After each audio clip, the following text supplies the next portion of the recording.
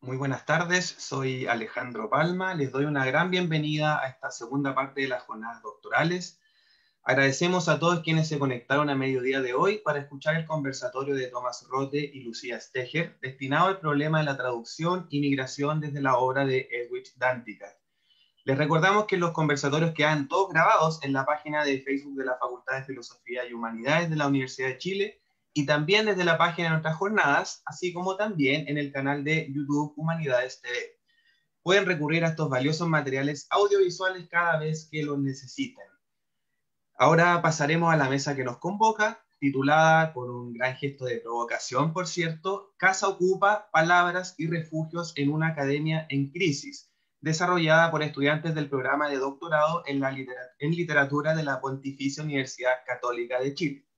Una breve reseña biográfica para que conozcan a quienes conforman esta mesa, ¿no? los aquí presentes.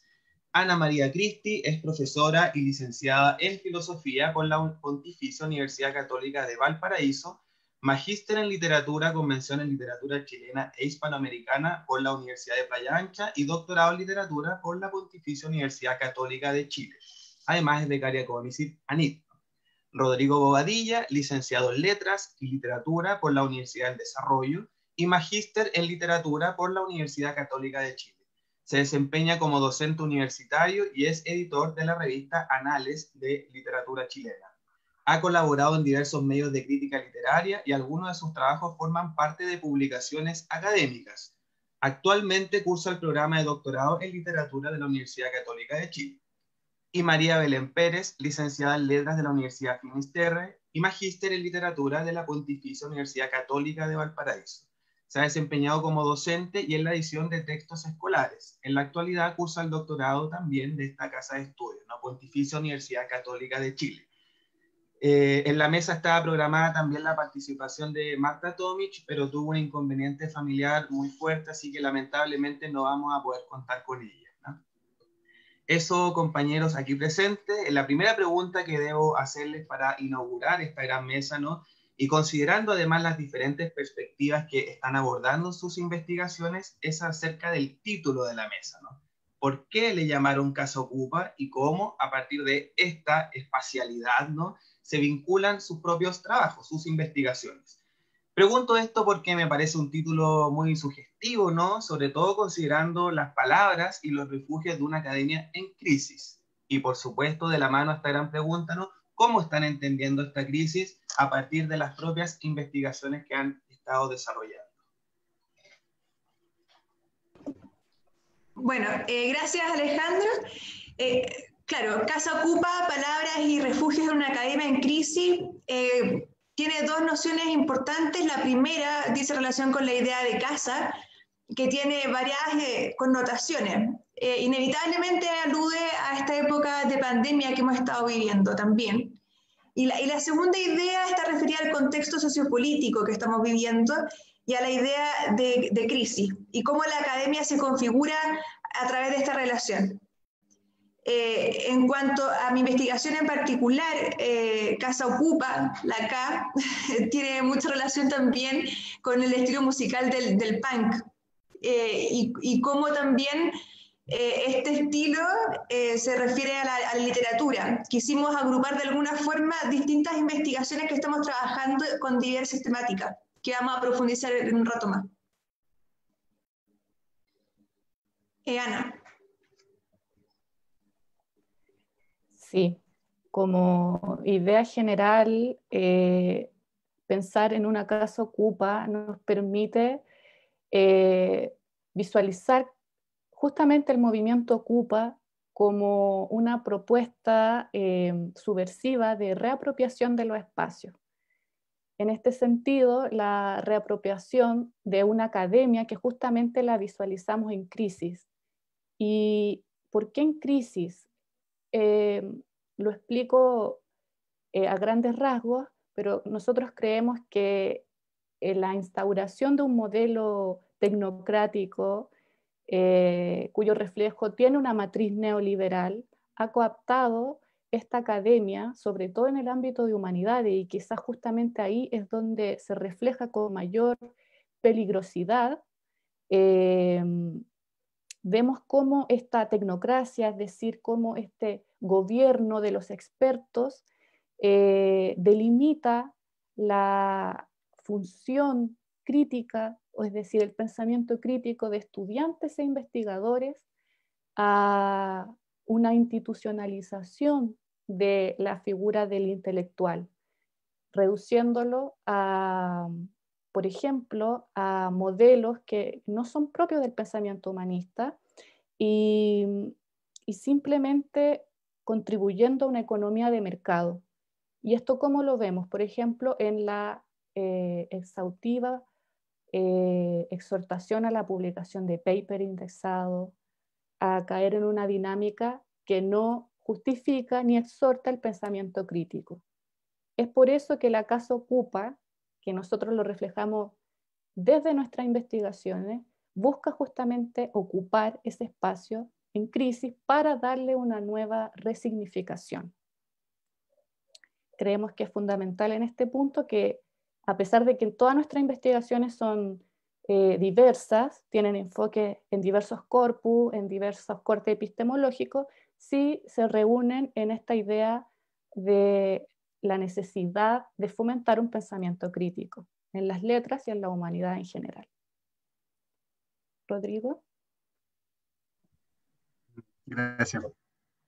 Em, sí, creo que eh, lo que nos movió a ocupar esta imagen, ¿no? Eh, y por lo menos lo que la imagen de una casa, de una casa que necesita ser ocupada eh, para hablar de, eso, de lo que formamos parte, ¿no? Que es la academia y la universidad.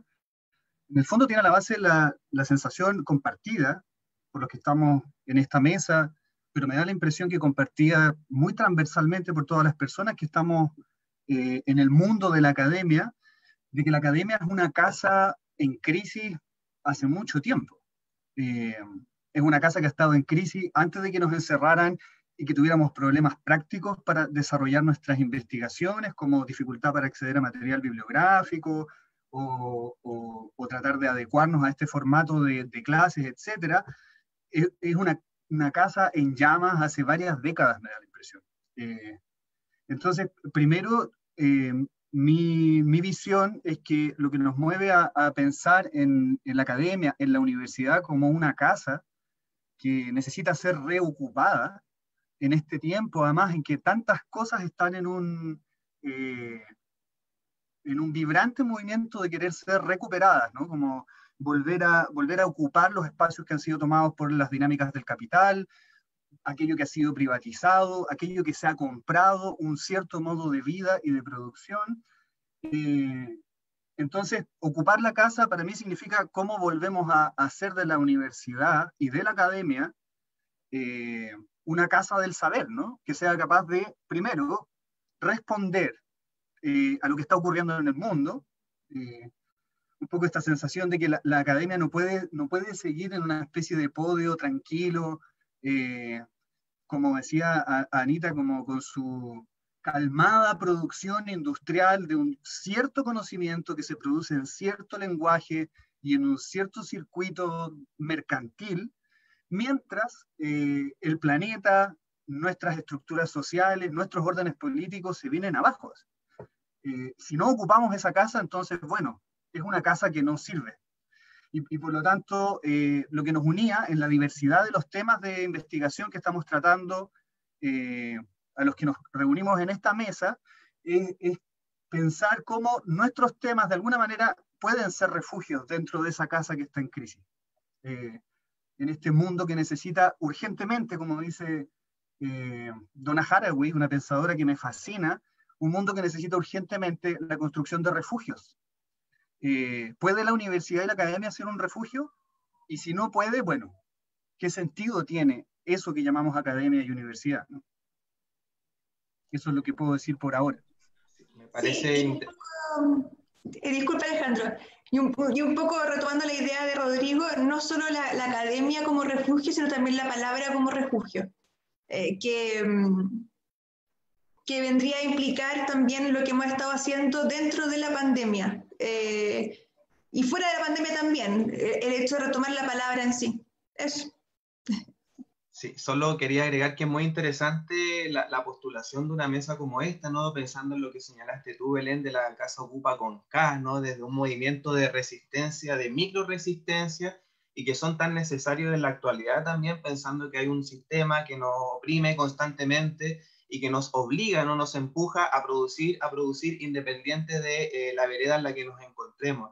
Entonces me hace mucho sentido lo que menciona Rodrigo al respecto de que hay un historial de la academia, ¿no? Que, que, te reduce, de algún modo te va cosificando también como un producto que sirve a este gran engranaje y que ustedes desde sus, distintas, eh, desde sus distintos proyectos, de sus distintas investigaciones, y aquí el pie, les doy el pie para que puedan hablarnos de, esa, de esos proyectos que tienen y cómo se vinculan ustedes también como experiencia individual, pero también haciendo una comunidad distinta para resistir frente a esa academia que está en crisis, como bien ustedes postulan. Entonces, doy el pie ahí para que cada uno de ustedes pueda contar en qué está, por qué se fijaron en esos temas, por qué lo están desarrollando y cómo se vinculan, ¿no?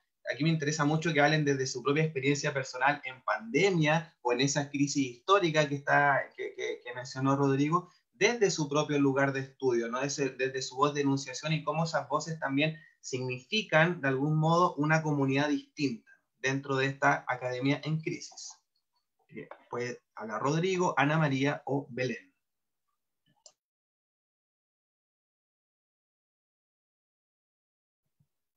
Eh, ¿Puedo eh, compartir? Sí. Bien, eh, sí, estoy de acuerdo con lo que plantea Alejandro sobre cómo vincular experiencia, producción de conocimiento y contexto, que básicamente lo que nos convoca en, en, un periodo muy complejo, no solo por una pandemia, sino porque hay una serie de crisis sociales que se arrastran desde bastante tiempo, pero que tienen su apogeo sobre todo en Chile hoy, que es un periodo de cambio importante. Entonces, eh, para nosotros es necesario eh, vincular nuestra escritura y nuestra, nuestra producción de conocimiento, digo, eh, justamente con estas temáticas. En mi caso particular, eh, no puedo pensar estas crisis sin la relación entre género, eh, literatura, humanidades, territorio, eh, feminismo en específico. Y de ahí es que una de las formas en que podemos ocupar esta casa o esta, esta academia en crisis es reposicionando y las escritoras que fueron eh, marginadas de un canon clásico, historicista, eh, marcado por un orden historiográfico y generacional, eh, y justamente haciendo una, una, deconstrucción, y esto lo digo quizá en términos derridianos, pero una deconstrucción justamente de esas categorías. Entonces, yo propongo leer una generación literaria y me reapropio del concepto de generación, no lo entiendo como ha sido historizado por la crítica literaria tradicional, eh, que es la generación del 38, y es una generación de escritores, lo entendemos así de, entrada, pero también yo digo de escritoras, eh, que cuestionaron una forma de hacer literatura a principios y mediados del siglo XX, eh, poniendo en escena la crítica social y una crítica social no solo en el orden de clases, sino también en el orden de género.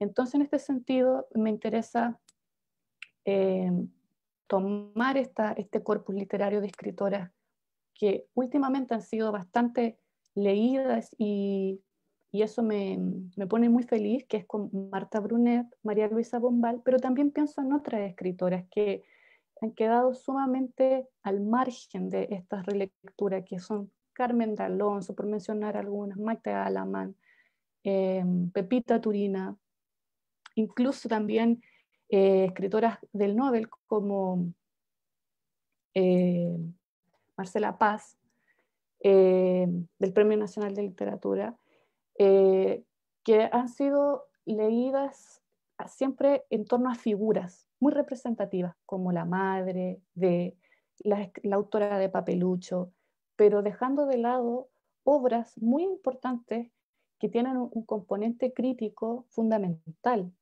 Entonces, releer esa, ese componente crítico en su función social en torno al género de estas escritoras es una forma de reconocer no solamente su obra literaria, sino también eh, reposicionarla desde el pensamiento eh, introspectivo, es decir, que mide críticamente su presente y yo lo relaciono con el presente de hoy. Entonces, esto lo digo a grandes rasgos. Le doy el espacio a Belén.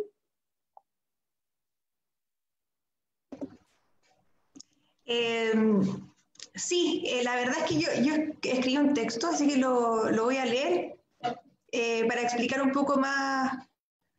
Es breve, para explicar un poco lo, de qué se trata la investigación.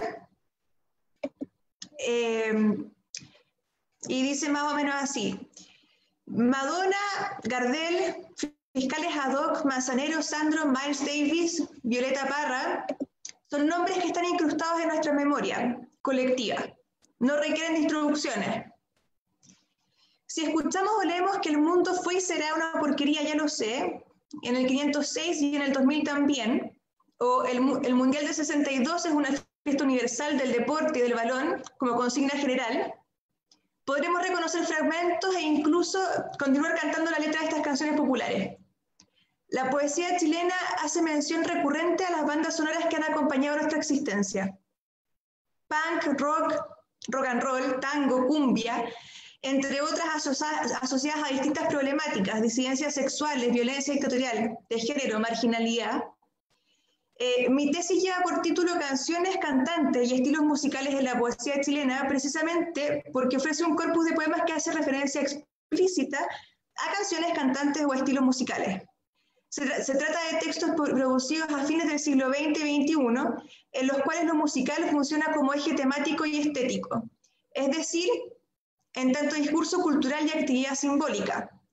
De acuerdo con lo anterior, el objetivo general busca analizar la subjetividad que se despliega del lazo entre la música y la poesía, una relación que muchas veces da cuenta de una memoria, identidad y contexto sociopolítico particular, dictadura, paso a la democracia, crisis institucional, etc. Eh, tomemos, por ejemplo, una de las referencias iniciales, el tango.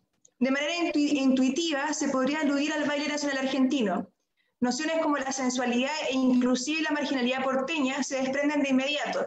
Sin embargo, en cuanto a las poéticas chilenas, nos pueden remitir el poemario Tango de Mauricio Redolés, centrado en la nostalgia de un amor y situado en el exilio en Londres, o bien precisamente a un poema titulado Exilio de Eugenia Brito, en el que se polemiza al respecto desde, el título.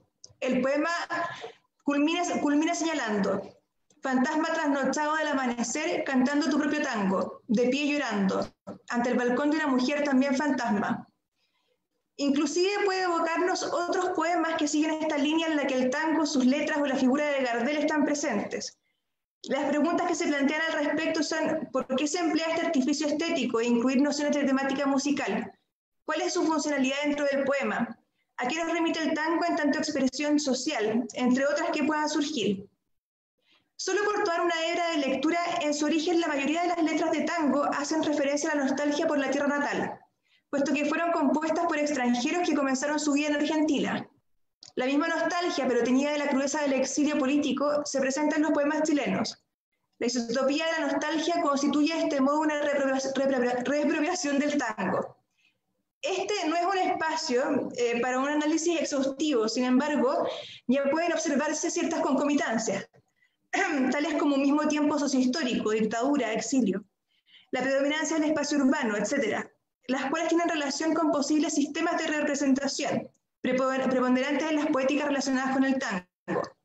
En síntesis, mi investigación pretende identificar las referencias musicales en poéticas chilenas contemporáneas, para comprender cómo funcionan en el marco de los estudios culturales y desentrañar esta relación que ha demostrado ser estrecha pero que tradicionalmente se ha estudiado de la oralidad, la musicalización u otras aristas en las que se pretende esencialmente desempolvar el momento exacto en el que la poesía y la música dejaron de ser una misma expresión, mientras que se ha descartado la posibilidad de adentrarse en lo que el poeta Jorge Montalegre señala como imagen abierta, es decir, la vocación de una situación de escucha.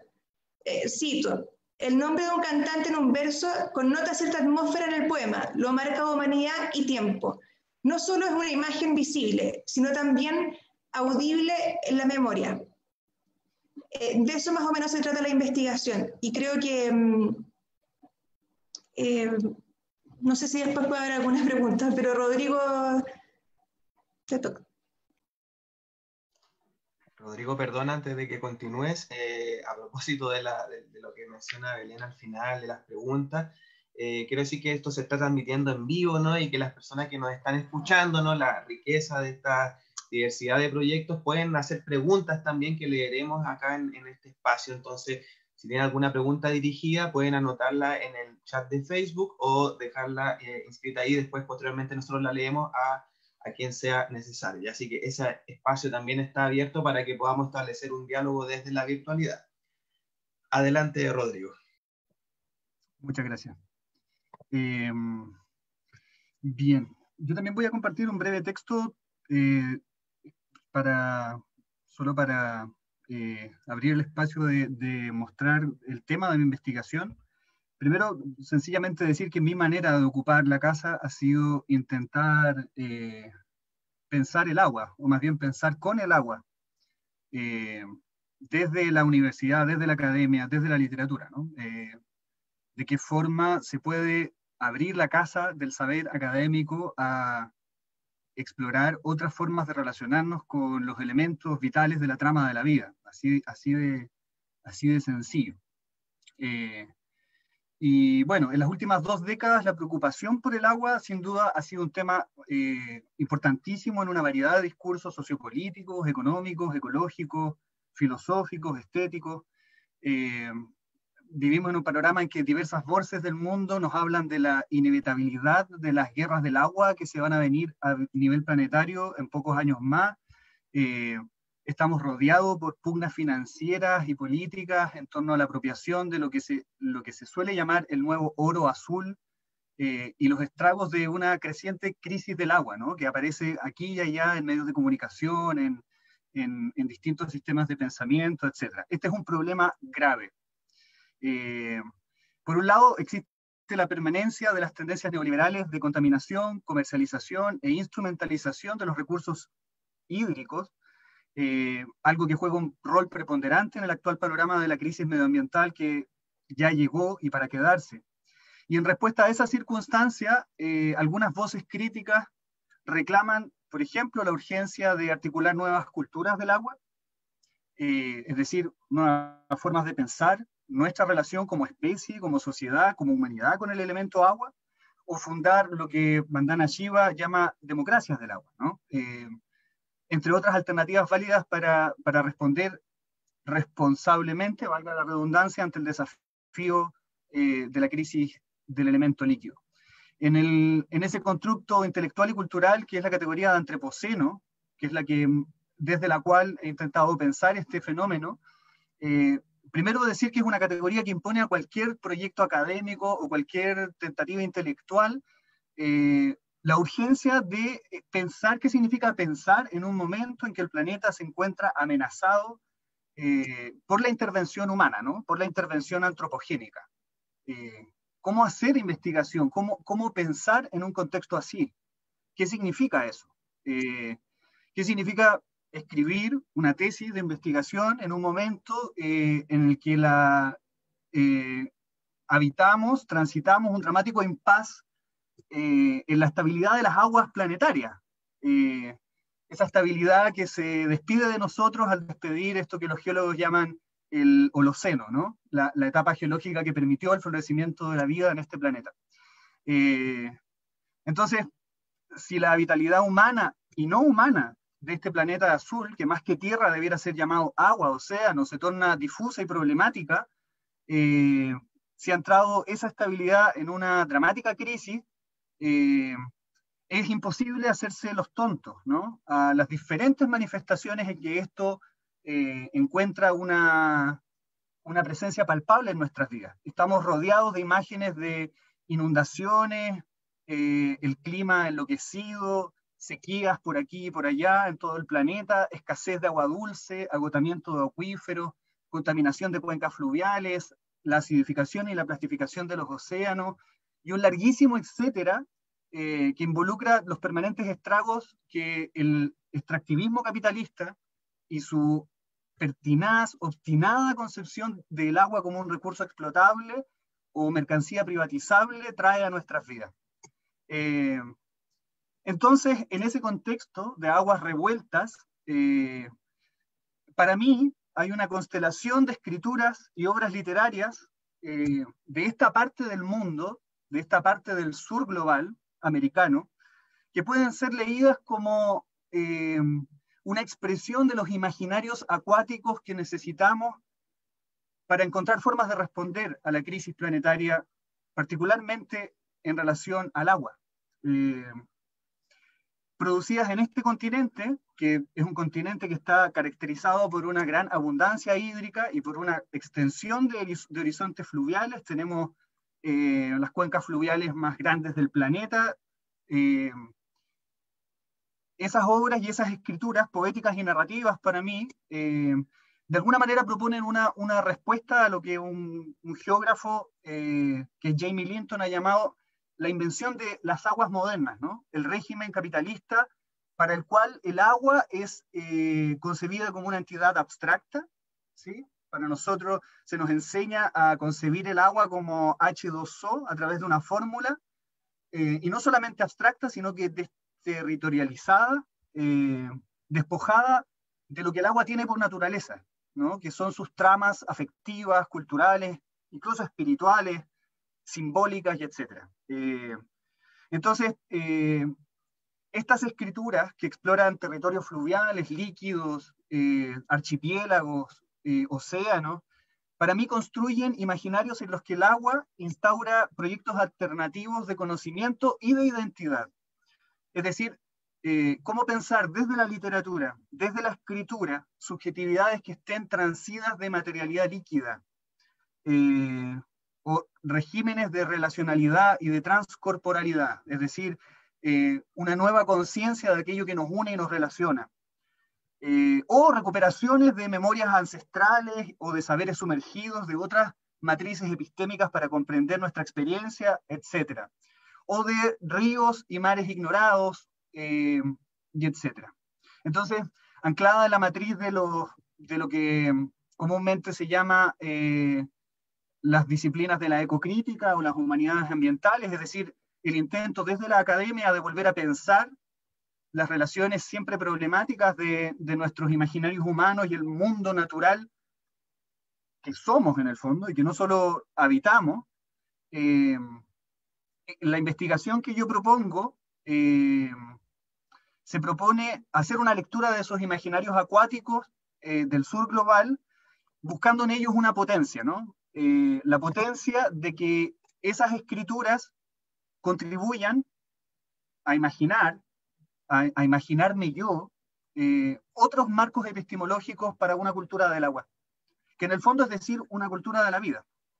Eh, y si esas escrituras de alguna manera responden a la crisis planetaria y ecológica, proponiendo otras perspectivas de un ecologismo azul que vuelve nuestra mirada hacia la presencia ubicua, permanente del agua en nuestras vidas, eh, de alguna manera lo hacen configurando lo que, lo que podría llamarse eh, unas hidrológicas alternativas, que no son las lógicas hídricas que rigen eh, en los circuitos del capital, ¿no? en, en, los que el agua es solamente un recurso explotable.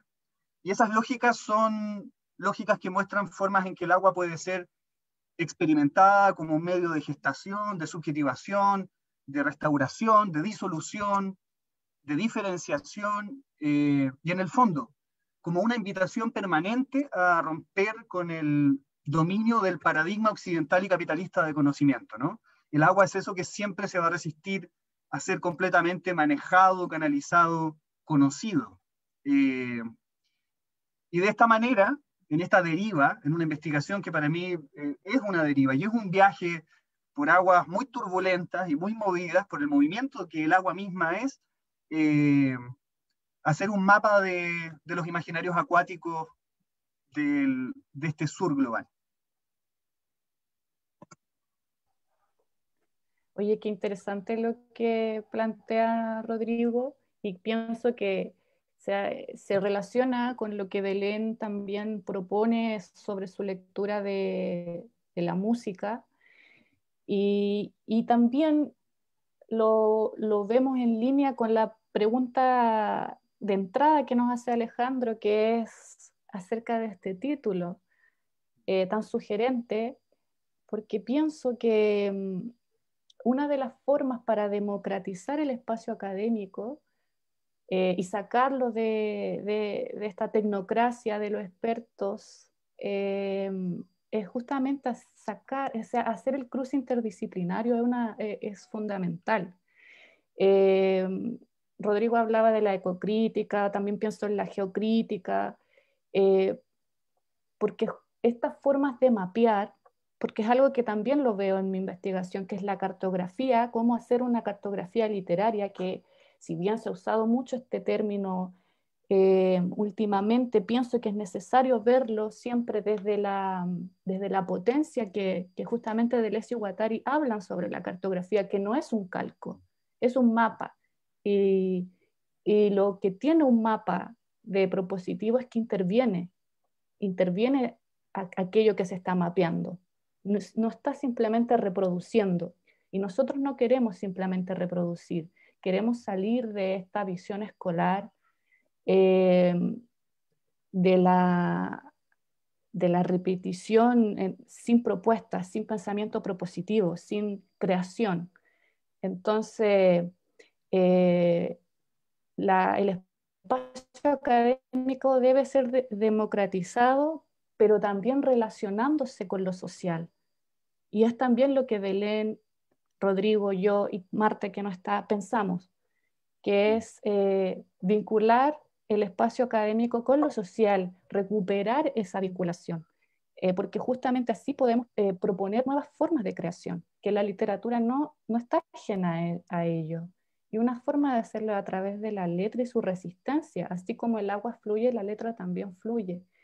Entonces, las cartografías críticas, las reapropiaciones, romper con aquella linealidad en la que se ha instaurado una cierta historia, reapropiarnos de ella, quebrarla e introducir nuevas nociones fundamentales.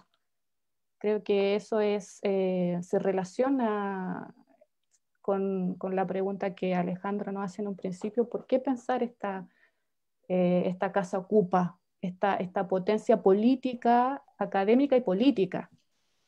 Sí. Siempre se ve desde esas perspectivas. Bueno, y, y también, retomando tu idea, Ana, eh, también tiene que ver con el ámbito de las humanidades. Eh, creo que, no sé, desde la perspectiva, por ejemplo, de un estudio intercultural entre, entre música y, y, y poesía, eh, quizás sea eh, muy pedestre nombrarlo así, pero creo que nos dimos cuenta muchos que con el tema de la pandemia, eh, ¿qué fue lo que nos quedó? Eh, el arte principalmente. el arte fue una de las cosas que nos hizo sobrevivir durante este tiempo. Las películas, los libros, la música, las personas como lograron ver esa experiencia de una manera distinta. Y, creo que analizar de alguna manera cosas que son consideradas populares, quizás, y que son consideradas, eh, que son fuera de la academia, también tienen un grado de interés en ese sentido porque expresan eh, también eh, parte de nuestro sentir. veamos, por ejemplo, lo que pasó en las manifestaciones. En las manifestaciones hubo música.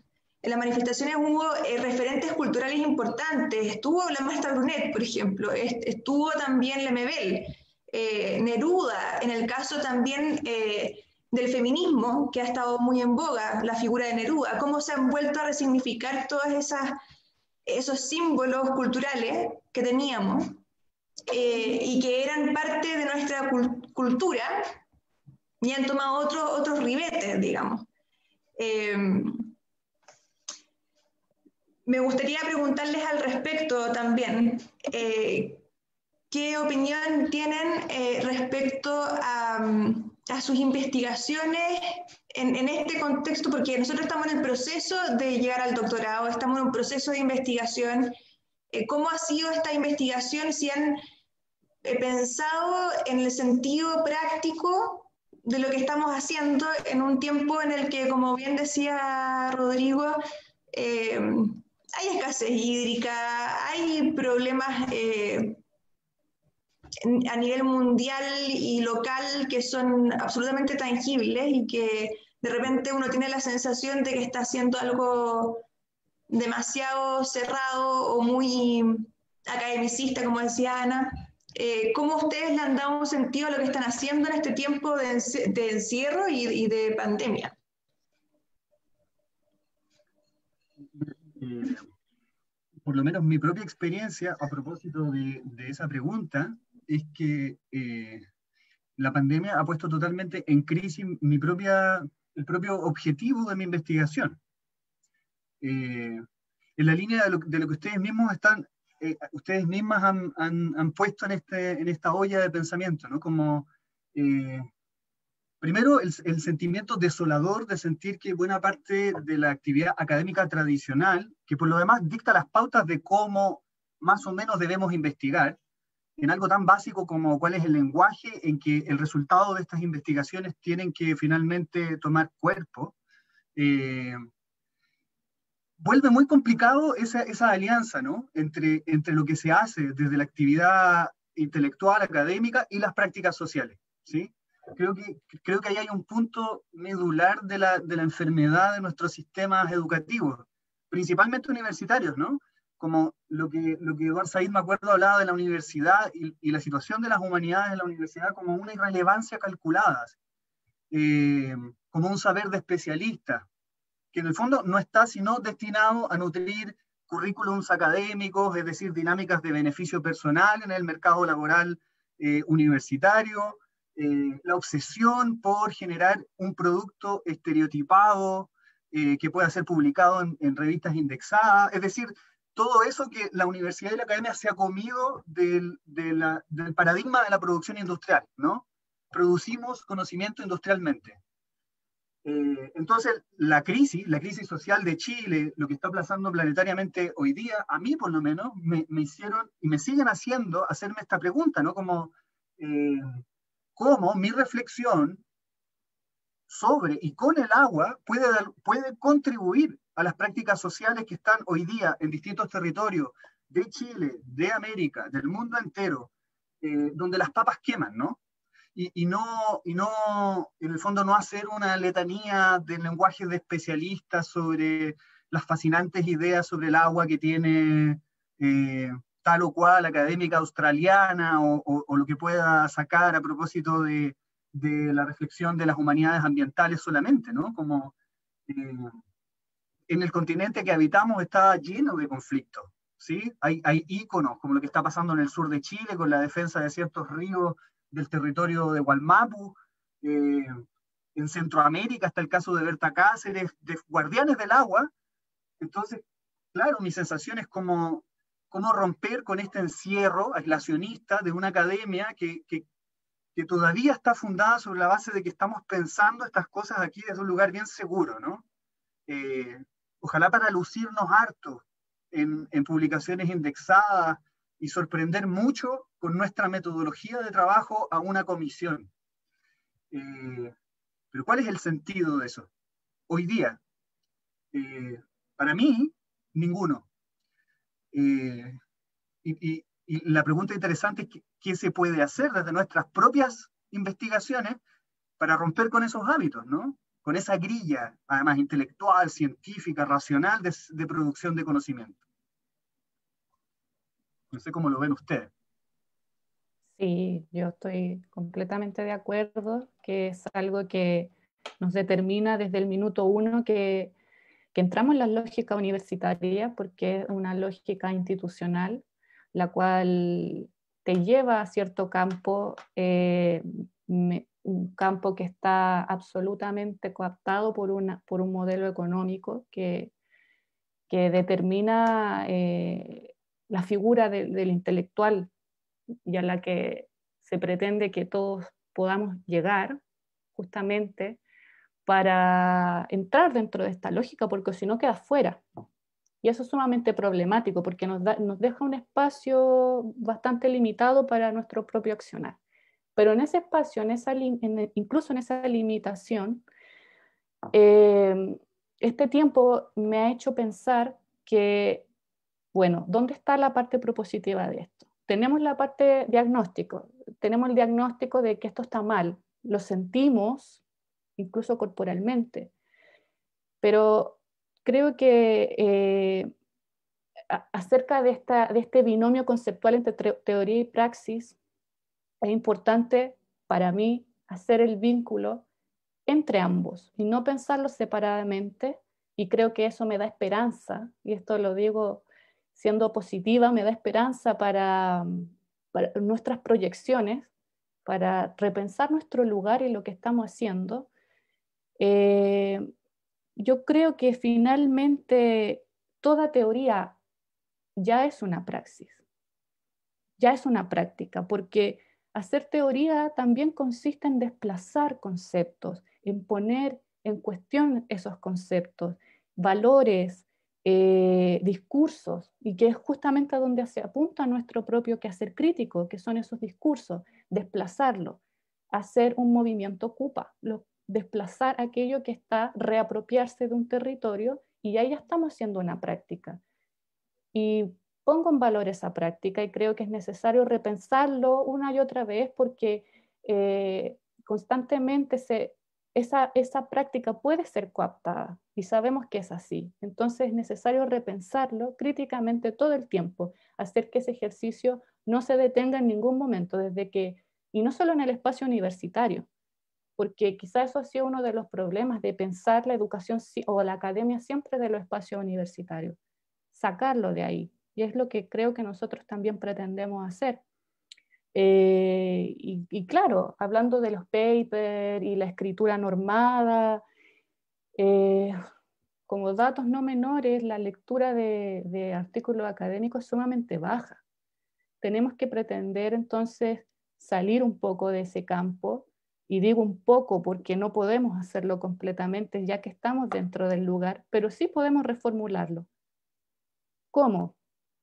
Vamos pensando que para eso estamos. Justamente estos encuentros nos permiten eso, ¿no? Conocernos entre pares y ver cómo repensar justamente esa academia, que está sintomatológicamente no nos produce daño. Cómo repensarlo y, rehacer esa práctica, esa teoría siempre en conjunto. No sé qué opinan. Eh, bueno, es muy, es muy bello lo que están diciendo es una idea romántica preciosa y de resistencia también frente a lo que, a lo que estamos viviendo todos en este contexto y sobre todo asociado a, a, la academia, ¿no? a cómo ustedes la entienden, cómo ustedes la viven también. Somos parte de una generación que, que, que ya está en un tránsito distinto, ¿no? y eso se entiende también desde la calle, recordando lo que mencionó Belén. Eh, sobre su trabajo de poesía, literatura y música, este gran lienzo que se extendió por ahí por el 21 de octubre del año pasado en la Biblioteca Nacional que decía La poesía está en la calle.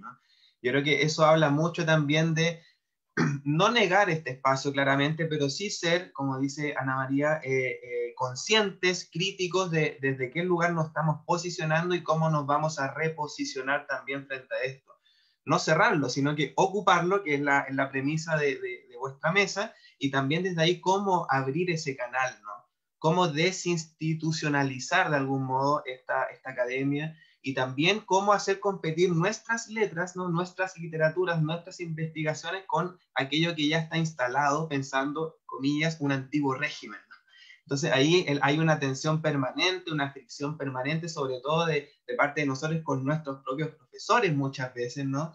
están luchando en, permanentemente con esa tradición también y que se entiende, una tradición muy fuerte. Eh, eh, ustedes lo han dicho, la producción permanente, ¿no? Ahí Rodrigo hizo un, análisis bien exhaustivo de todo este sistema que nos va eh, presionando, ¿no? A publicar, como ojalá no tomar posición, pero desde la calle estamos escuchando otros gritos, ¿no? Es como te obliga, te empuja, y qué bueno que sea así, ¿no? A preguntarte constantemente qué es lo que estoy haciendo estoy estudiando las aguas, no el antropoceno, pero ¿qué está ocurriendo afuera? Entonces ahí el vínculo, creo yo, ahí donde está la, virtud de, sus investigaciones, abre ese espacio, ¿no? Permite conectarse y que estemos aquí reunidos y que hayan 25 personas escuchándonos, es parte de una comunidad también. ¿no?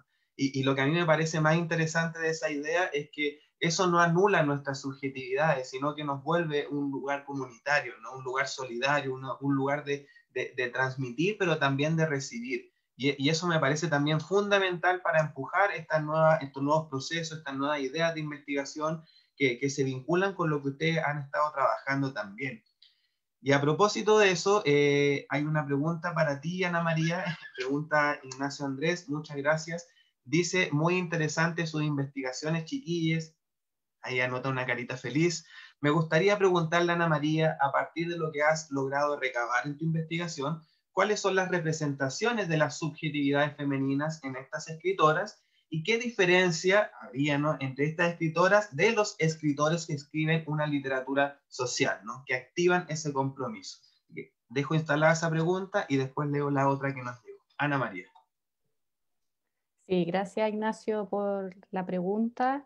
Eh, justamente tú lo has dicho, eh, podemos desde, desde, ya hablar de una nueva subjetividad en, estas letras, eh, cuya diferencia, partamos por las diferencias, eh, consiste en que, bueno, si bien los escritores de la generación del 38 eh, apuntan a una crítica social de clase, en tanto busca la resignificación del obrero, del proletariado, eh, siempre vinculando la estética y la política. No se puede pensar la, la, estética sin un, una relación política, es decir, la estética es política, eh, y cómo entonces eh, cambiar una sociedad y eh, postular a ese cambio justamente mediante las artes, mediante las letras, mediante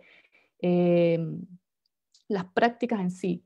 Entonces, pasa que como la mayoría de estos escritores son justamente de origen proletario y de ahí también su, eh, su noción, o sea, su conceptual, fueron leídos por la crítica como los autodidactas y dentro de ese autodidactismo ellos propusieron nuevas prácticas escriturales que sumamente, eh, es sumamente rico de, leer una literatura así. Eh, las escritoras no, no eran de origen proletario, sino que en su mayoría eran burguesas, eh, pero no por ello no estaban atentas a los síntomas sociales de la época, que no solo era una reivindicación de clase, eh, no solamente el, el, surgimiento de estas nuevas, eh, nuevas esferas sociales, sino que también eh, una crítica a la noción de género, que quizá esto puede ser anacrónico, pero yo hablo del lugar que tenía la mujer en la sociedad, un lugar sumamente limitado. Eh, y por lo tanto, eh, pensando en la relación política-escritura y con todo el movimiento de pro-emancipación de la mujer en la época, el Mensch es muy importante ya cerca del de, 38 con el, el advenimiento del, del Frente Popular. Eh, entonces, estas escritoras criticaban eh, el lugar de la mujer a través de sus figuras identitarias clásicas, que es la maternidad, eh, su rol social como eh, madre y esposa, su poca participación en la sociedad y también su, la construcción de su autoría. ¿En qué minuto ya se pudieron autollamar escritoras. Eso fue muy, comple complejo. En su mayoría eran catalogadas, y recuerdo las palabras de Maite Alaman que dice, eh, yo eh, soy una dueña de casa con mención en literatura. Es decir, cómo salir de, eso y llamarse escritora, la profesionalización de su escritura. Entonces, eh, vemos que en esto podemos hacer la diferencia. Eh, pero no es una diferencia radical, porque no podemos entender también la relación entre clase y género. Eh, se, se, diferencian, pero no son necesariamente jerárquicas una sobre la otra. Están dentro de un mismo conglomerado social. Entonces esa podría ser la primera, la primera apuesta. Y la otra apuesta que ya desde el ámbito de, lo, escritural, esta escritora rompieron con el realismo socialista que los escritores sí estaban proponiendo, eh, introduciendo nuevas variantes técnicas propias del vanguardismo. Entonces, podemos pensar en una escritura más íntima o de avanzada, eh, donde se relaciona lo social eh, con la escritura y un nuevo replanteamiento de esta escritura. Entonces, sumamente rico como las escritoras vienen a nutrir este panorama de la generación del 38. Y esa es justamente mi propuesta, ya no pensar la generación del 38 como una generación eh, que se delimitó al realismo socialista o, a una literatura partidista, como muchos críticos la nombraron, para menospreciarla por lo demás, sino que es una escritura sumamente rica que rompe con una tradición e instaura otra, entonces necesitamos volver a reposicionar esta generación del 38. Bueno, no sé, ahí me, callo para dar el espacio a la otra pregunta. Muchas gracias Ana María y también a Ignacio nuevamente por esta pregunta que ayuda también a seguir profundizando en los propios proyectos de ustedes. La segunda pregunta es de Alejandra León, eh, dirigida a Rodrigo, pensando en todo lo que él nos dijo acerca de su investigación. Eh, y pensado también en la, división entre teoría y praxis, ¿no? ¿Cómo podemos efectivamente, dice Alejandra, recuperar el agua en este camino de redactar que implica escribir y por ende implica lo literario, no solo como civiles, sino que también como agentes eh, culturales? Ella piensa también en la nueva constitución, ¿no? Y cómo ese espacio se puede abrir en un diálogo hacia la práctica, considerando tus palabras anteriores, eh, Rodrigo.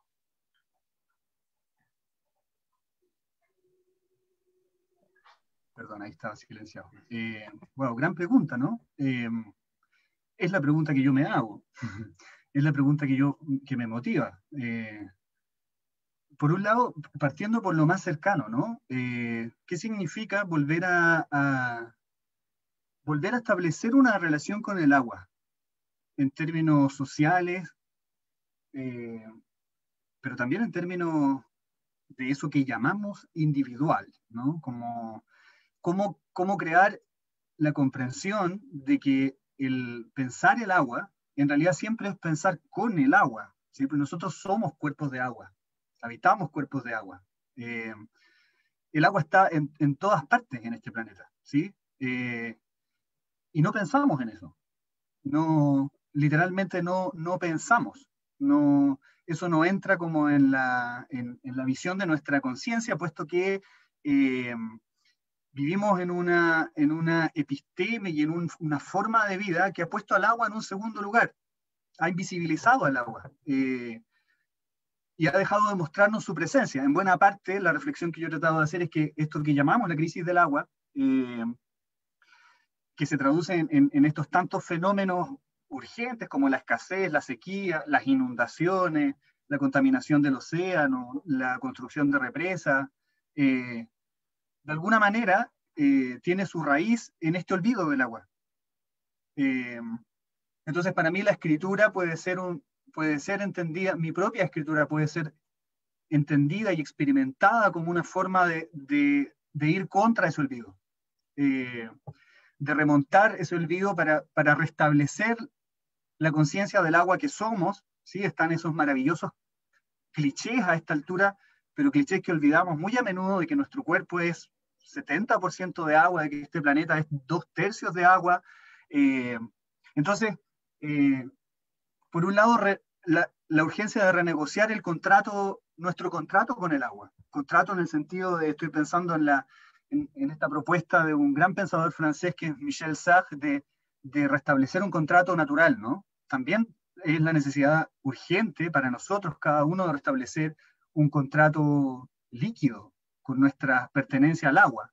Eh, y creo que el agua, de hecho, tiene muchísimo que enseñar, que mostrar, eh, precisamente también en términos colectivos a los movimientos que hoy día están tratando de ir a contrapelo de las dinámicas del capital. Eh, pensar con el agua necesariamente implica pensar en una cierta ética, el agua es el elemento de la colaboración por, por, por definición, ¿no? El agua supone concebir la vida humana, no humana, más que humana, eh, como permanente flujo y relación contra la lógica del capital, ¿no? que es una lógica de acumulación, de, no movimiento. El capital ha tratado de, apropiarse de la metafórica del agua, ¿sí? Eh, entonces se habla de los flujos del capital, de la liquidez de dinero, y ese es un fenómeno muy interesante que, también estoy tratando de pensar, ¿no?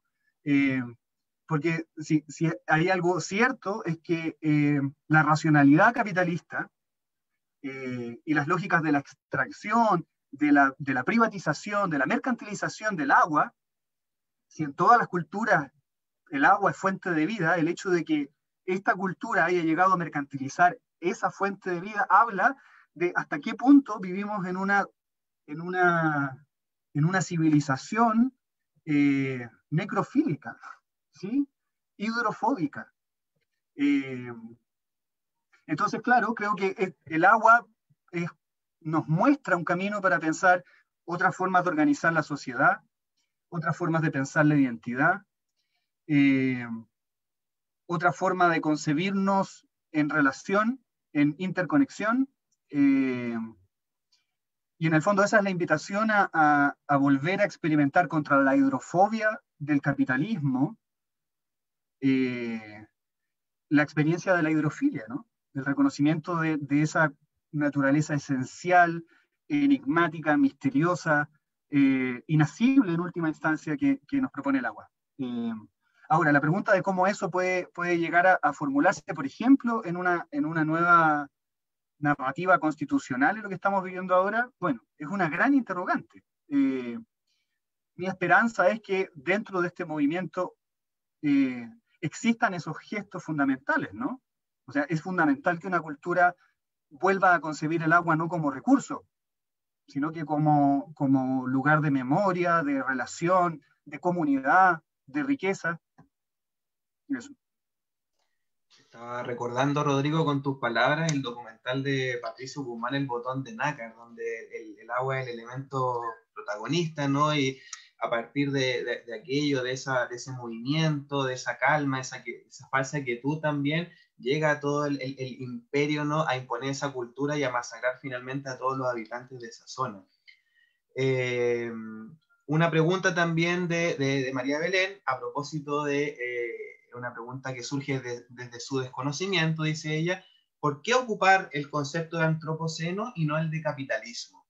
Está amarrada la reflexión que está elaborando recién, Rodrigo? Bueno, creo que hay que ocupar ambos. creo que eso que, eso que llamamos antropoceno, esta categoría que, que, es una categoría, polémica por lo demás, eh, eh, pero que ha entrado muy fuertemente en la última década para, para ofrecerse como una forma de pensar eh, lo que ha hecho la intervención humana en este planeta, ¿no? El sentido que tiene eh, reconocer que la, actividad productiva antropogénica, es decir, lo que nuestra especie hace en el planeta vivo, eh, ha hecho que entremos a otra época geológica, es decir, ya no... Eh, lo, que, lo que suele decir la intrusión de Gaia en nuestros asuntos, de la Tierra en nuestros asuntos. Por primera vez, las huellas que estamos dejando tienen esa profundidad sin duda que tienen esa profundidad por las maneras en que hace por lo menos 200 años, y yo diría 500, por lo menos, eh, hemos producido y hemos consumido y hemos fundado una cierta relación ontológica con la naturaleza, ¿no? Eh, como eso que está allí para nuestro uso y abuso. Eh, entonces, antropoceno, capitalismo, también se habla de capitaloceno, ¿sí? Porque es justo también decir que antropoceno supone la idea de que el homo humano es el responsable, pero en realidad no todos los humanos son los responsables, ¿no? Eh, hay comunidades, identidades de resistencia que permanentemente han convivido con las lógicas del capital eh, para ir a la contra de la destrucción de la casa viva que habitamos y que somos. Eh, entonces no es que, escoja una en cambio de la otra, ¿no? Eh, el antropoceno es aquello a lo que nos ha llevado el capitalismo. el, río tóxico del capitalismo desemboca eh, en este mar contaminado que llamamos antropoceno.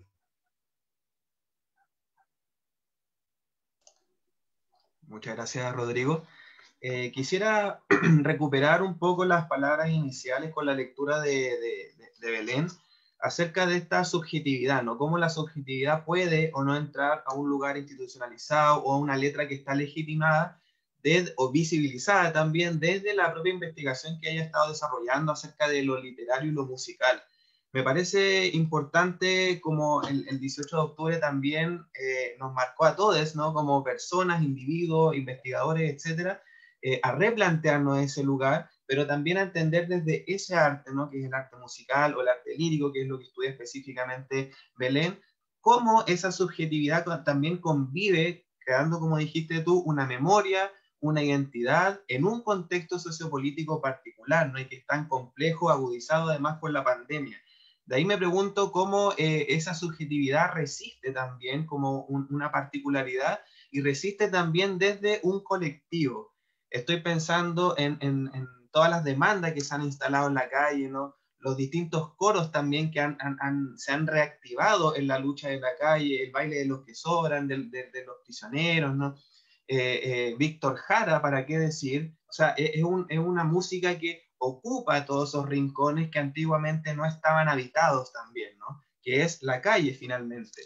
Eh, pensando también en, lo que nos convoca, ¿no? La, la, privación de un derecho al agua, como dice Rodrigo, eh, a, una educación también, pero sobre todo estoy recordando el, anuncio del ministro de Educación que salió ayer, ¿no? De cómo la, cómo la educación, desde el Ministerio de Educación, ¿no? se piensa como un, esfuerzo, ¿no? como un desarrollo, como que es el único lugar donde yo puedo integrarme a lo social. ¿Qué rol jugaría la música ahí y tu investigación, por supuesto, acerca de eso, pensando en las dificultades de un contexto como este? Desde un lugar político, por supuesto, que es lo que tú propones. Ya, em, a ver, para empezar, yo creo que eh, eh, pensar en, la música y en las canciones de la forma en lo que estás diciendo, poner por ejemplo Los Prisioneros. Eh, los Prisioneros, el baile de los que sobran, las canciones han sido utilizadas en muchos poemas. Lo que estoy estudiando son principalmente ese, ese corpus, esos poemas, y en algunas ocasiones podemos ver, no sé, poemas de los años 60, de los años 70, 80, en las que se ocupan ciertas canciones en particular. De repente esas canciones eh, son utilizadas de una forma irónica, hay un diálogo irónico, a veces se polemiza, otras veces se utiliza de la misma forma en la que nosotros entendemos. Eh, ¿Por qué digo esto? Porque si pensamos en el ejemplo de los prisioneros, eh, los prisioneros pueden ser entendidos de dos maneras. Es un grupo musical que va en contra de un sistema capitalista, ¿cierto?, establecido, y, mm, pero también es un grupo que vende mucho. Eh, también está metido dentro de una lógica comercial, ¿cierto? Si hablamos de un poema, en cambio, eh, generalmente se asocia la poesía a algo que no está dentro de una lógica comercial.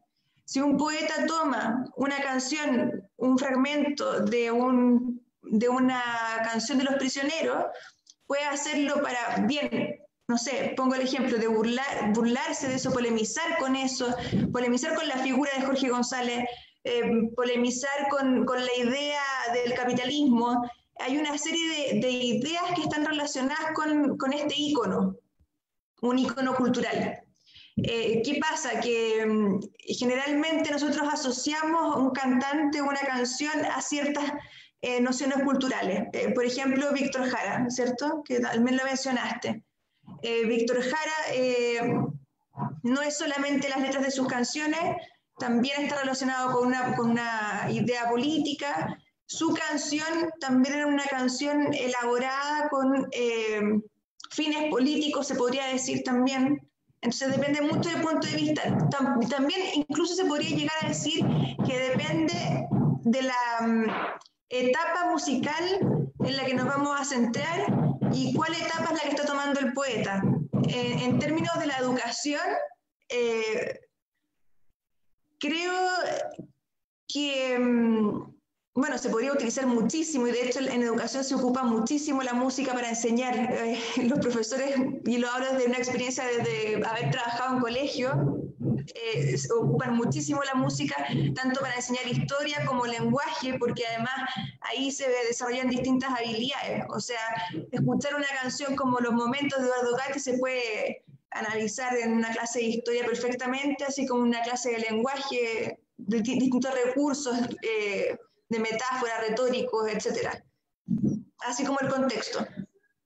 Y en cuanto a los términos políticos de mi investigación, eh, creo que especialmente tiene que ver con lo que les decía al comienzo, de una idea de tomar lo popular también. Estas canciones, por ejemplo, eh, investigaciones que hay pocas, pero ya últimamente han habido, no sé, pienso en libros como Clásico AM o libros como los de la eh, como los de Marisol eh, García, que hablan acerca de la canción Cebolla, que hablan del bolero, y que trabajan esto de una perspectiva diferente, que lo trabajan desde la marginalidad, que lo trabajan desde mm, el, fenómeno de la maya eh, de la de cómo se vuelve popular en, en, el extranjero la música también, de cómo se comercializa, no sé, una figura como Luis Miguel, qué impacto puede tener en la sociedad, eh, desde ahí también. Eh, más o menos eso.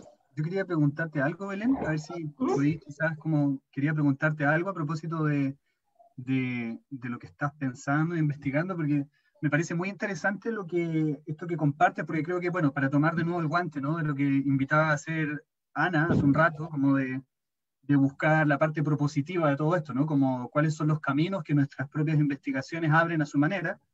Y por lo menos ah, yo al escucharte y al leer lo que estás haciendo, me da la impresión de que un, camino muy interesante es esta, la reapropiación por parte de los estudios literarios, ¿no?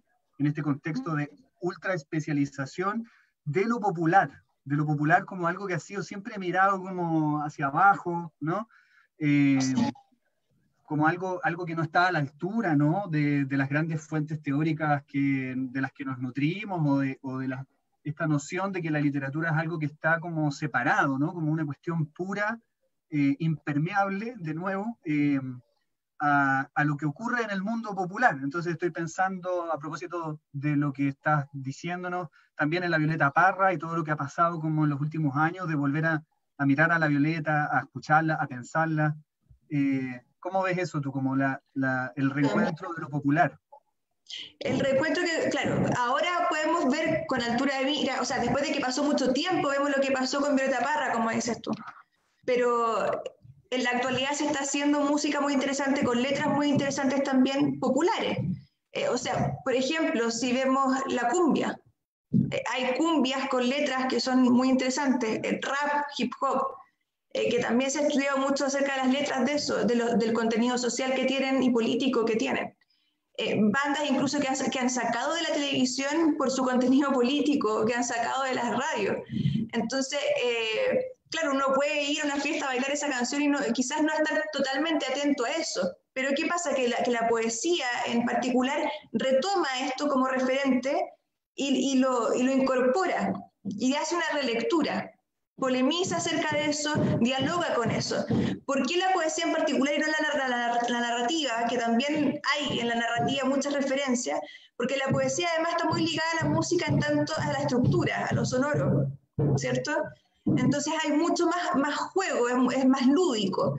Eh, hay, por ejemplo, muchas reescrituras del himno nacional. Si uno piensa en el himno nacional cuando lo creó Baldomero Lillo, no está incorporada la figura del mapuche pero podemos encontrar un poema de Ivonne Puñecar, más de uno de hecho, por lo menos tres, donde se toma la letra del himno nacional y ella lo, se apropia de eso y lo reescribe, incorpora eso, así como también incorpora el, el, problema de género.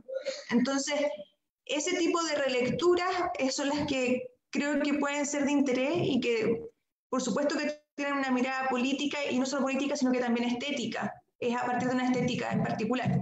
Eh, si uno piensa ahí, eh, ¿cuál fue el espíritu que quiso transmitirse en la canción nacional? cuál fue la idea que se pensó como nación, hay muchas cosas que se dejaron fuera. Y la cantidad de reescrituras, tenemos reescrituras, por ejemplo, en los años 60 con el poeta Sañartun, un poemario que se llama Let It ya hay una reescritura. Eh, una, una, reescritura que quizás no toma como coñecar lo, lo, mapuche, pero sí toma otras aristas, otras disidencias también. Entonces, ese tipo de cosas creo que, que se incorporan en este estudio y que eh, estamos en una etapa mm, de investigación de progreso, digamos, pero que hay bastante material, hay bastante material de donde, de dónde tomar. Generalmente, como, como les decía en el texto, generalmente se toma la poesía y la música desde lo sonoro, desde lo musical que puede ser la poesía, pero en este caso es, más desde lo, desde lo temático y desde mm, cómo el poeta también, o la poeta, le poeta, eh, se reapropia de, de, de la música como, como cultura, como fenómeno cultural.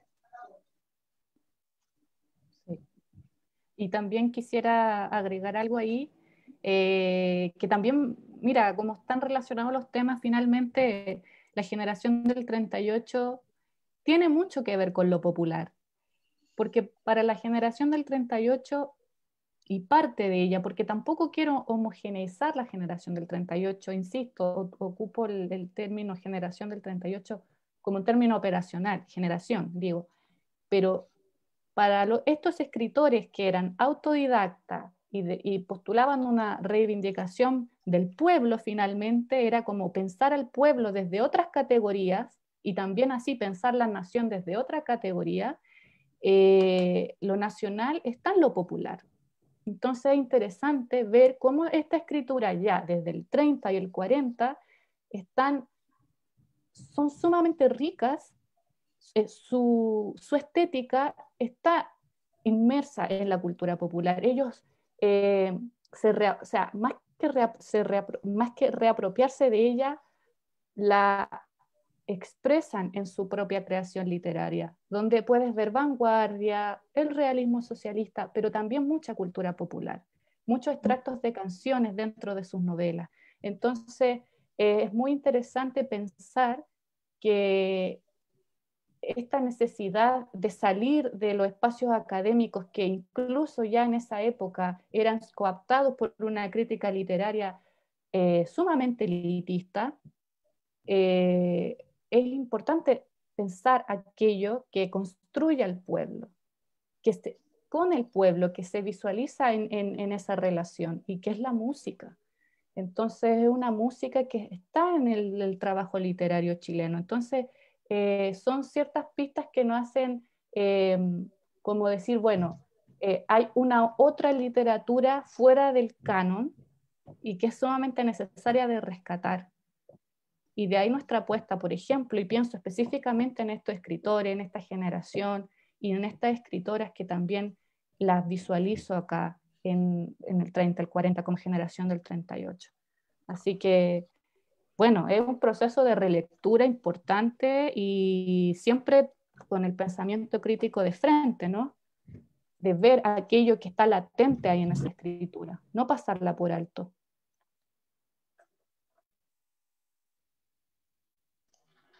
Con el plano musical estaba pensando también desde mi propia investigación que estudios teatrales chilenos actuales, de cómo la música también va permeando las puestas en escena para realzar aquello que menciona Rodrigo del mundo popular, ¿no? y que Belén ya lo ha descrito muy bien.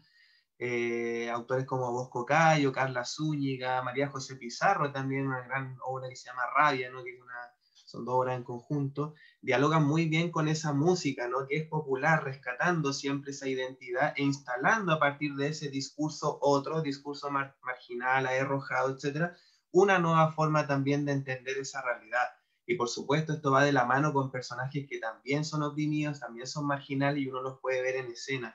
Y eso aporta sin duda alguna una riqueza para rescatar nuevamente esa, esa subjetividad y para provocar de algún modo también un choque con esa legitimidad, ¿no? con esa institucionalidad y, al mismo tiempo esas obras poco a poco comienzan a entrar en la academia. Gracias al esfuerzo que hacemos todos, ¿no? De, de, ir rescatando esos espacios, de ir reinstalando y de ir readecuando también las miradas a un contexto actual. Y eso me parece que eh, eh, es lo más rico que postulan ustedes en sus distintas investigaciones que, como bien eh, vio y escucha nuestra audiencia, son bastante diferentes, pero siempre hay puntos en común.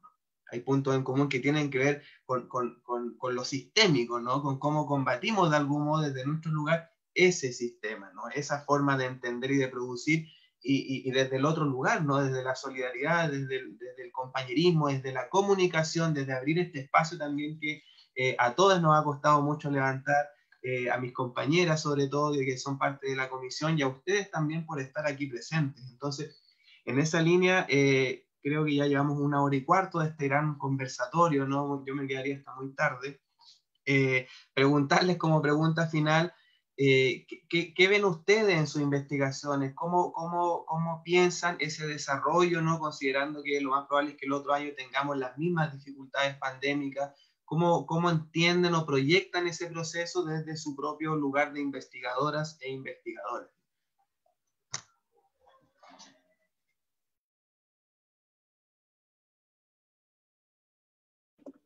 Rodrigo.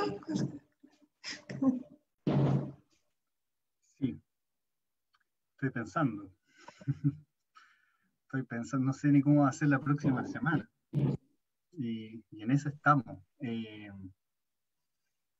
bueno, una de las cosas que estaba pensando también antes de, hablar, de, responder a la, pregunta, a la invitación de, Alejandro, es, es claro, también, también lo popular está muy presente en mi investigación, porque eh, estoy trabajando con textos, con tradiciones que vienen desde el mundo popular, la poesía popular, todo el, imaginario de la cultura tradicional que está en la lira popular chilena, pero también eh, en ciertas tradiciones eh, populares andinas que todavía mantienen ritualidades de, reunión comunitaria en las que eh, a través del rito los pueblos se, se reúnen para cantarle al agua, por ejemplo, eh, en, celebraciones que tienen nada más que ver con una praxis comunitaria que es la limpia de los canales o eh, de alguna manera postulan que lo popular siempre ha sido un refugio también, un refugio de resistencia eh, contra la grilla de la racionalidad capitalista. lo popular, como, como decía el Fidel Sepúlveda, esa idea tan bonita de que lo popular nunca ha dejado de ofrecernos un arte vida que no separa la, que no separa la creación, la producción de música, de tonadas, de, de bailes, de, es decir, de expresiones culturales, de praxis vitales muy concretas, muy, muy enraizadas en la tierra. Eh, entonces me quedé pensando en eso.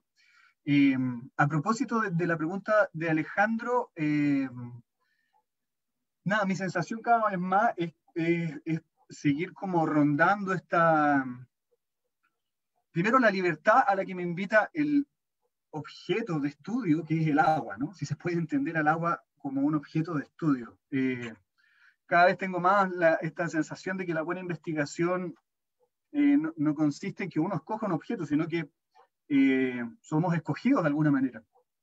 y por lo menos mi respuesta, y esto se ha acentuado cada vez más en los meses que nos ha tocado vivir, es a través del agua intentar eh, encontrar otras formas de leer la experiencia vital, eh, otras formas de, otras epistemes, ontologías, otras, basta, basta con, con reconocer que uno eh, percibe, experimenta el agua como un ser vivo para ya estar siendo parte de otra, de otra forma epistémica de habitar el mundo. Y lo mismo con las montañas, ¿no? lo mismo con, la, con los muertos. Entonces, eh, yo de alguna manera me siento escogido por el agua para, para transitar eh, la deriva de esta crisis. Eh, y creo que seguir los movimientos y los ritmos del agua y a todos los lugares a los que el agua nos lleva, de alguna manera por sí sola muestra las pistas de otra, otro tipo de práctica académica las maneras en, que, en que escribimos, en que nos relacionamos, en que colaboramos con otros seres, eh, puesto que el agua es esta gran eh, urdidora de relaciones. ¿no? Eh, entra en nuestros cuerpos y sale y luego circula. Esta metáfora, que no es una metáfora, esta realidad preciosa, ¿no? De que la cantidad de agua que hay en este planeta es una nomás y se va moviendo. Entonces creo que esto a, mí me ofrece, es un gran estímulo para pensar en otras prácticas intelectuales, en, en seguir eh, ocupando la casa en el sentido de fundar eh, dinámicas de colaboración contra la epidemia de la preocupación por, la, por, el proyecto personal, ¿no? El, el, colaborar radical, ¿no? El trabajar juntos en pensar. Eh, si es que el, capitalismo, una de las cosas que hace, siento yo, es como eh, despojarnos de las capacidades naturales que tenemos de pensar juntos de pensar, no, no pensar no, no quiere decir solo intelectualmente, sino que abrir nuestros sentidos a otras formas de experiencia de, la, de lo real. Eh, entonces, el agua, eh, mi intención es que el agua me siga mostrando, eh, me siga enseñando a colaborar y hacer un trabajo académico que esté a la altura, ¿no? A la altura de la crisis planetaria humana, no humana, que estamos viviendo. Eh, eso, eso es lo que, lo que se me ocurre para responder a esa pregunta que, encuentro tan eh, urgente, ¿no? De hecho, antes de que se me pase, eh, Nancy Arancilla te felicita, Rodrigo, dice un gran trabajo, removiendo su significado elemental y simbólico para cambiar el eje de desarrollo y de mirada. Le encantó y te manda un abrazo muy, muy caluroso, ¿no? Fraterno. Gracias. Y también, yo creo que aquí eh, Belén puede hablar con mayor propiedad, pero es una pregunta abierta que nos llega desde el chat. Dice qué opinan ustedes, qué piensan acerca de eh, el alcance, el impacto que tiene la musicalización de un poema, ¿no? El alcance musical de un poema frente al alcance que puede tener eh, un poema escrito solamente en un contexto donde hay muchas dificultades de lectura. ¿no? Cómo, hay una recepción ahí diferente a partir de lo musical frente a, lo escrito, no como una polaridad, sino que más bien como una diferencia de, soporte. Eh, sí, eh, más que una diferencia de soporte, la poesía es una experiencia de sus orígenes. La poesía es performática, la poesía es eh, in situ, ¿cierto? Eh, el, el, hecho de leer un poema en voz alta genera, como les decía, no solo una experiencia sonora, sino que también sensorial en varios sentidos. Entonces, el oyente tiene esa capacidad no solo de recordar, sino que de, de vocación, que de otra forma no se tendría en la lectura. Se ha perdido mucho. Todavía se hacen lecturas poéticas, pero creo que mm, la lectura poética contiene en sí misma una serie de factores que posibilitan una, mm, una mejor llegada hacia, hacia, el auditor o hacia el espectador. Lo transforma más en una experiencia que, la, la, lectura. ¿Qué pasa? Que con la lectura no puede volver, ¿cierto? Y, y con, la, con, con, el recitar uno no puede volver, uno solo se queda con con lo que escuchó. Quizás en ese sentido, para alguien que tiene más problemas de concentración, pienso, no sé, en un niño, un adolescente, en un colegio, sea más práctico leer al mismo tiempo el poema para poder concentrarse en cada palabra. Pero aún así la experiencia de performática del poema sigue siendo enriquecedora en muchísimos sentidos porque genera una serie de sensaciones. No, sé si, si, respondí bien la pregunta, pero aprovecho de responder la otra pregunta también. al tiro y decir que, mm, que bueno, y, de hecho tiene que ver con, lo, con, con, esto que quizás desde lo teatral también tú puedes conocer más, em, que hay un ritmo también en la poesía. Así como en la música hay un ritmo. Y creo que esto de la pandemia, bueno, y en el agua también, como decía Rodrigo, hay un ritmo, ¿cierto? Em, que esto de la pandemia ha hecho que bajemos el ritmo o que cambiemos el ritmo. Y, y quizás eh, no voy a hablar tanto como desde el yo de mi investigación, pero sí a una invitación a, a, ocupar este nuevo ritmo en el que tenemos estas experiencias, por ejemplo, de diálogo y conversación mucho más distendida por medio de Zoom, y ocupar este tiempo también para escuchar música y leer poesía, para traer otro ritmo, para conversar acerca de otras cosas, para reflexionar acerca de otras cosas. Me parece eh, excelente no solo la oportunidad de compartir las investigaciones que tenemos, sino que también que hayan, como decías tú, 25 personas interesadas en escuchar esto. Eh, creo que es una gran cantidad de personas y, que se mantenga durante esta cantidad de tiempo me parece notable. Em, fuera de todas las otras actividades que han generado también como facultad, ¿cierto? Eh, así es que eso, creo que este tiempo de lo que nos quede pandemia, sobre todo respecto a la pandemia, no, no tanto en los fenómenos sociales, porque ahí creo que sí hay un rol mucho más activo, pero lo que quede pandemia, de encierro, eh, aprovecharlo para tener otro ritmo y para reflexionar quizás eh, o tomarse un tiempo de hacer este tipo de cosas que quizás antes no podíamos hacer, de leer poesía, de disfrutar la poesía, de disfrutar la música.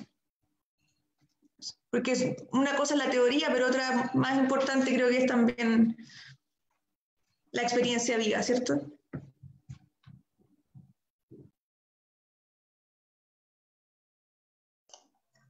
Ana María, muchas gracias, Belén. Eh, sí, eh, pensando en tu pregunta sobre las proyecciones, las proyecciones para un 2021 incierto, es difícil, como dice Rodrigo, sí es difícil pensarlo, pero en este caso, en mi caso, eh, lo que más allá de, cómo, cómo, me proyecto, quiero pensar en lo que no quiero hacer.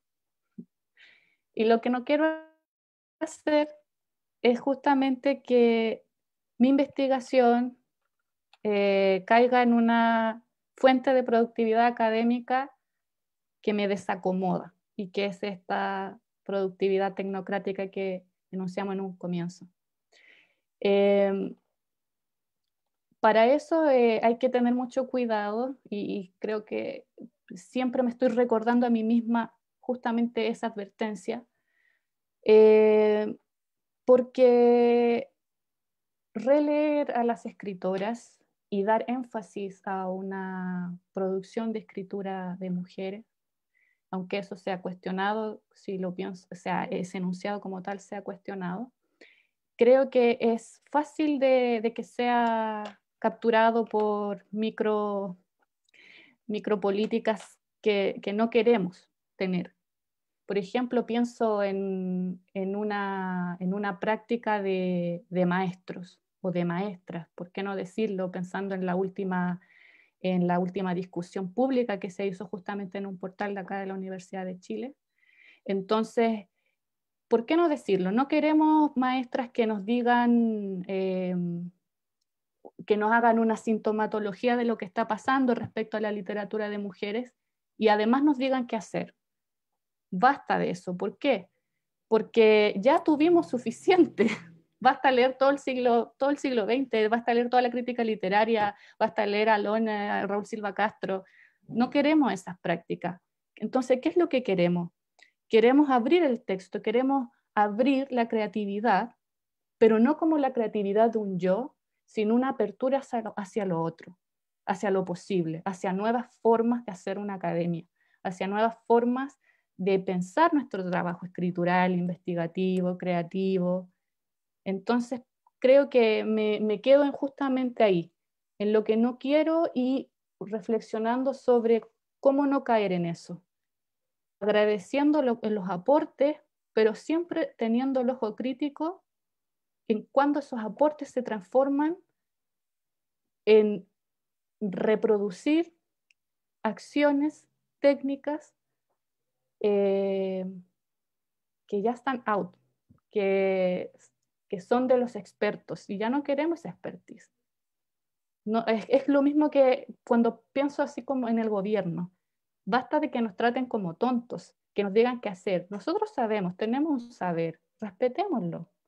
Así que me quedo en lo que no quiero y desde esa, eh, esa negatividad me, me proyecto.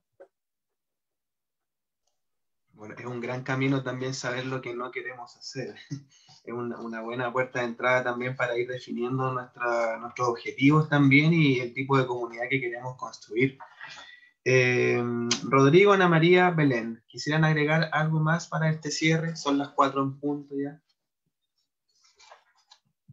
¿Todo bien?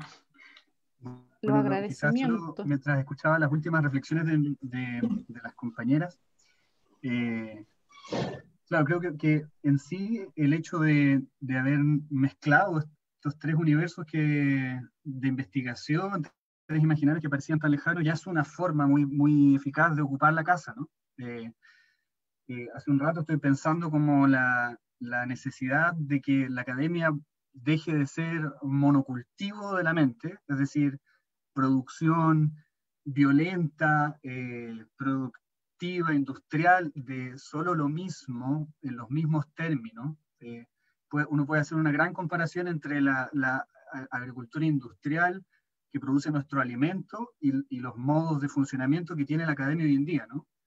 Y una de las cosas que se echan en falta es precisamente, yo creo, lo, lo que lo que ocurre cuando distintos proyectos se ponen a pensar juntos. Eh, se produce polinización cruzada, se produce diversidad, eh, se produce, se vuelve a, a, a, a, lo local, a pensar en, en, en, la libertad de las semillas de, de otro tipo de investigación.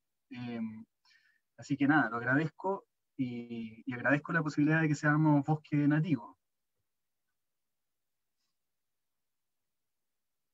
Sí, yo en nombre de la, de la comisión y de toda la jornada le agradezco a ustedes también por invitarnos a pensar en sus investigaciones, entregarnos tantas enseñanzas también en esta hora y media, mucha, mucha riqueza. Estoy de acuerdo con esa figura del bosque nativo que, instala Rodrigo. Y también agradecerle a quienes nos vieron y nos escucharon desde, desde Facebook. No es un pequeño, otro gran acto de resistencia estar acá junto con nosotros. O sea, sabemos que están ahí y les mandamos un saludo caluroso también. Eh, saludar a Marta Tomic, que no, su compañera que no pudo estar hoy día, ¿no? Le mandamos un sentido abrazo, que tuvo un problema familiar muy fuerte, así que en nombre de ella también va a esta mesa.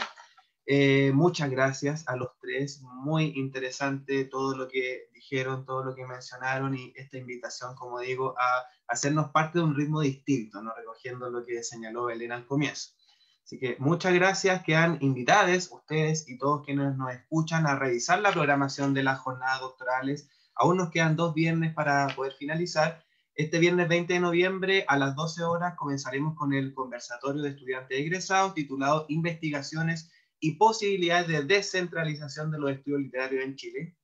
Muy, muy, muy asociado a lo que hemos estado discutiendo aquí, ¿no? Eh, a cargo de Claire Mercier y Fernanda Moraga, y posteriormente a las 12.30 la mesa de trabajo, como está ocurriendo ahora, eh, con los estudiantes de la Universidad de Playa Ancha, titulada sobre la función social de la literatura. Así que ahí de a poco vamos a ir definiendo aún más eh, la invitación que hace también esta jornada, que es pensar y repensar una academia en crisis, ¿no? sobre todo en estos tiempos difíciles. Así que muchas gracias a todos por estar y nos vemos el próximo viernes. Recuerden que quedan todos los programas grabados en, en, las distintas plataformas. Que estén muy bien, disfruten. Muchas gracias. Muchas gracias, gracias a todos. Chao, hasta luego. Chao.